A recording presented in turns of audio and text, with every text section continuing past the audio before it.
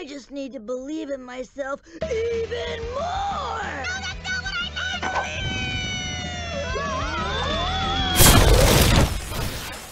Boy, that was a really bad idea. Why didn't you guys